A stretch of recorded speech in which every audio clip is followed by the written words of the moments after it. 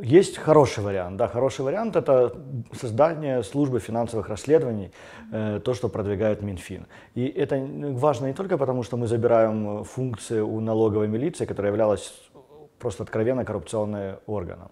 Но важно, что такие же коррупционные органы есть в полиции, в СБУ и так далее, когда каждый, кому не лень, приходит и занимается экономикой. То есть СБУ вместо того, чтобы ловить шпионов, отжимает бизнес. Э, милиция вместо того, чтобы ловить наркоманов условных, да, и грабителей тоже отжимает бизнес. И вот наличие огромного количества вот этих вот э, конторских служб, которые могут прийти и заниматься экономическим вопросом, создает ну, очень большие неприятности бизнесу, неудобства бизнесу и сильно бьет по инвестиционному климату. Поэтому если все вот эти вот полномочия у всех этих служб будут забраны и отданы в одну службу финансовых расследований, это будет очень хороший позитивный сигнал для инвесторов.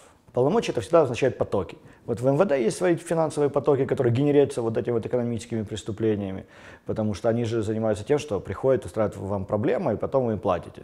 Соответственно, получается денежный поток. То же самое в СБУ. И понятно, что делиться этими денежными потоками никто из этих служб не хочет.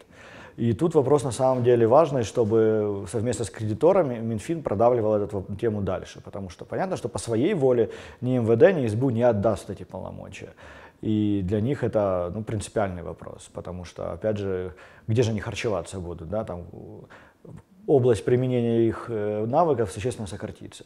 Но насколько мы видим, этот вопрос лоббируется МВФ, этот вопрос лоббируется кредиторами, а поскольку мы от МВФ никуда не денемся в ближайшее время, то есть надежда, что э, это удастся сделать. Тем более, что действительно вот у, это та мера, которая имеет широкую поддержку в условном гражданском обществе, потому что для бизнеса это очень важно. Томаски шоу никогда никому не помогут. Приехали, забрали сервера и так далее. Они не, не, не генерят деньги для государства.